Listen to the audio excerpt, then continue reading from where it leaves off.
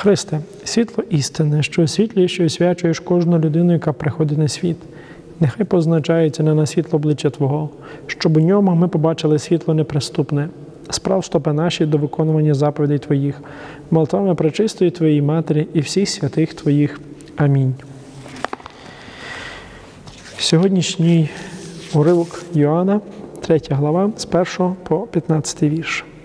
З фарисеїв один чоловік був Никодим на імення, зверхник серед юдеїв.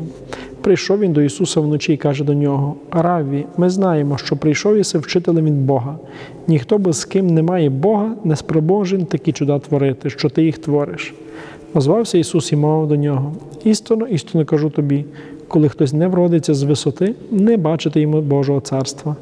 А Никодим же йому, як може чоловік вродитись, коли вже старий? Чи спроможен же він увійти знову в трубу матері своєї і народитись? Відрік Ісус, істинно, істинно кажу тобі, коли хтось не вродиться з води та духа, не спроможено війти в Царство Боже, що народжується від тіла, тіло, а що народжується від духа, дух. Не дивуйся, що я сказав тобі. Треба вам уродитися з висоти. Вітер віє, куди бажає, і шум його чуєш, а не відаєш, звідки приходить і коли відходить. Так бо і з кожним, хто народжується від духа. Озвався Никодим і мовив до нього. Як воно може статись? Ісус же до нього у відповідь: Ти вчитель Ізраїля, а то і не знаєш. Істину, істину кажу тобі. Ми говоримо про те, що знаємо, а свідчимо про те, що бачили. Ви ж свідчення нашого не берете до уваги. Говорив я вам про земне, а ви не віруєте. Як же овіруєте, коли вам про небесне говоритиму? Ніхто не війшов у небо, крім того, хто зійшов з неба, син чоловічий. Тож, як Мойсей, Змія підняв в пустині, так треба синові чоловічому бути піднесеним, щоб кожен, хто вірує в нього, жив життям вічним. Сьогоднішній уривок Євангелія Йоанна, третя глава, показує нам дуже цікавого персонажа, представляє нам Никодима. І цей чоловік є відомий тим, що він займає дуже важливу роль в спільноті юдеїв, особливо в Єрусалимі. І ми справді зустрічаємо його також в кінці Євангелії. І він сьогодні приходить, але приходить власне вночі. Дуже цікаво, Йоанн підкреслює, що він не приходить в день, так як фарисеї, які спокушали Христа Садукеї чи інші, але він приходить вночі. Він немов би намагається наблизитись до Христа, але тоді, коли ніхто не бачить, щоб не на, скажімо, не попасти під осуд чи під критику, але він для себе намагається зрозуміти.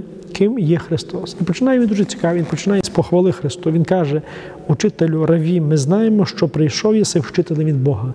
Тобто для Никодима Христос лишається на рівні вчителя, дуже доброго вчителя, бо заслужити титул вчителя і було непросто. Ось і він бачить, що Христос справді має виняткову мудрість, але для нього це лише є мудрість рівня людського, яку дуже легко можна здобути, якщо трохи повчитися. І він говорить про те, що справді що він є справжній вчитель, і Христос, як дуже часто буває, Євангелія Йоанна намагається піднести Никодима трохи інший рівень, намагається, немов би йому відкрити не лише фізичний рівень, але також метафізичний, більший рівень, вищий, власне, того, що перед ним відбувається. І тому він йому каже, що потрібно вродитися, народитися згори, з висоти, для того, щоб побачити Царство Боже. Тобто Царство Боже вже є, вже тут присутнє. Тобто я є тут. Але для того, щоб це побачити, немови потрібно перемінити, заставити свій розум, стиснутися до маленького ембріона, до дитини, щоб знову народитися. І Никодим, як добрий вчитель, намагається це зрозуміти, але знову ж таки розуміє на своєму рівні, на рівні дуже фізичному, земному, так би мовити, бо він. Не уявляє, як може старший чоловік, такий як він, же з бородою, з поважним досвідом, наново стати дитиною. Для нього це не зрозуміло. І тоді Христос йому каже, що Родитись потрібно з води і духа, тим самим вказуючи на це занурення в воду, яке практикували перші християни, і на Духа Святого, який мав прийти після його смерті, власне, і стати цим параклетосом, утішителем для всієї спільноти. І від цього духа, власне, Христос порівнює до вітру. Він порівнює його до того, що він дує тоді, коли він забажає. Як він забажає? Його неможливо детермінувати, його не можна заставити дути, його не можна викликати цього духа, але він приходить тоді, коли вважає, що особа вже готова, вона дозріла. І лише тоді він приходить і її змінює і робить з нею щось нове. І коли він говорить, то справді Христос в 12 му вірші каже, що я говорив вам про земне а ви не віруєте. Але хіба як буду говорити про небесне, ви зможете увірувати? І це є парадокс, коли Христос вимагає від нас простих земних речей, людських речей, бути людиною. Дуже часто для нас це не зрозуміло. Але чи зможемо ми його, чи ми здатні ми його розуміти, його таємницю, таємницю трійці, таємницю воплочення, коли ми таких банальних, простих речей не здатні розуміти і втілювати? І це насправді є один з парадоксів насправді е, людського існування. І щоб показати оцей парадокс, чим він є, хто є цей син чоловічий, він приводить приклад Мойсея. І Мойсей, який взяв і підняв цього змія. Змія, який насправді був е, в ті часи е, з немовби покаранням для ізраїльського народу, який не повірив, який кусав їх.